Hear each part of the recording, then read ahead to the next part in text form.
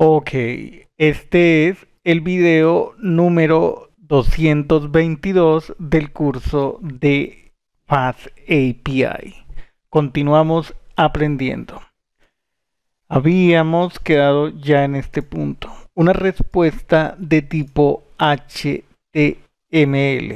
Así como podemos devolver texto, devolver JSON, también es posible devolver un documento HTML. Listo. Eh, cambiaré aquí el color del resaltador. Ya está. Para retornar una respuesta con HTML directamente desde de, Fast API, hay que utilizar la clase HTML Response. Esta clase hereda de la clase Response, la jerarquía de herencia. Hereda desde esta clase. De la misma manera que JSON Response hereda de Response. Los desarrolladores de Fast API identificaron ese esquema de herencia. Entonces, para lograr que mm, se pueda utilizar esa clase, necesitamos importar HTML response. Y al objeto HTML response em, de esta debe ir especificada como response class en el decorador de operación de ruta específicamente aquí como se ve en el código. Y es muy fácil. Nosotros escribimos el decorador la función y aquí ya aparece un segmento de un documento HTML. Está la apertura, la etiqueta de apertura HTML, ¿vale? El head y también se encuentra el body. Dentro del body puede ir cualquier cantidad de contenido. Hay un info pero antes de abrir ese info eh, crearé un nuevo archivo aquí en T0604 EX02 HTML response.py ¿Cómo le hacemos? Escribimos from fast API importamos fast API from fast API.responses importamos la clase HTML response.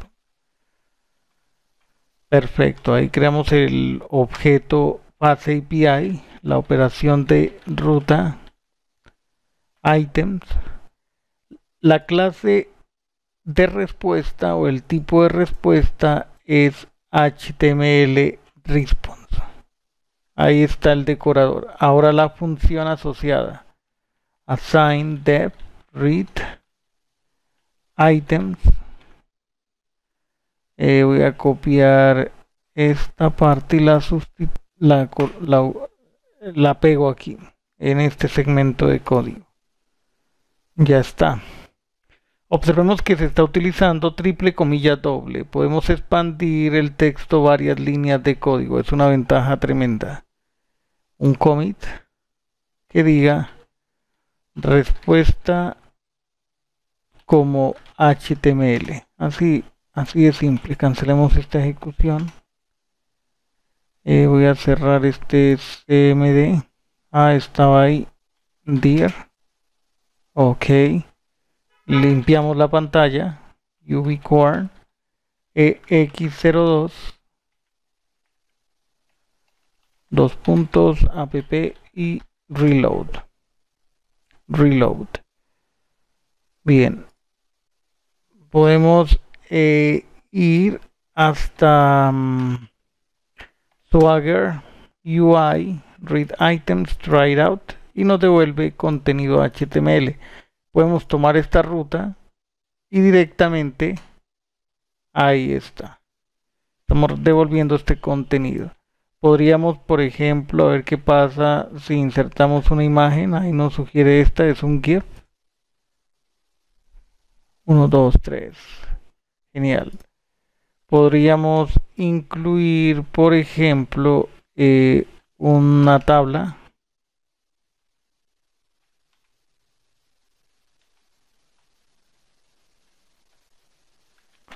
Creemos aquí un t-body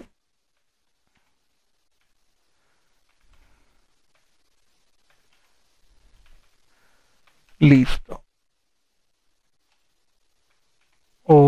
otra otra mm, fila. Refrescamos control R y ahí está la tabla. Esta tabla le podemos colocar border igual a 1 perfecto. Contenido HTML muy bien.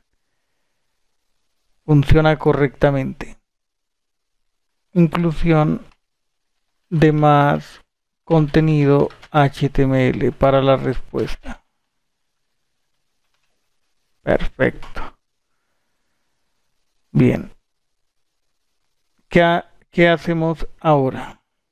Aquí leemos esta sección de info. El parámetro response class eh, también eh, será usado para definir el media type, que en este caso es text HTML. Implícitamente, eh, al retornar un response class, estamos diciendo que el main type es de tipo text HTML y será documentado como tal en OpenAPI. Eh, aquí está. Text HTML. Vale. Em, listo. Retornar un response. Eh, yo creo que podemos dejar hasta este punto y ya en el siguiente video empezar a estudiar esta sección. Dejamos hasta ahí. Antes eh, un commit.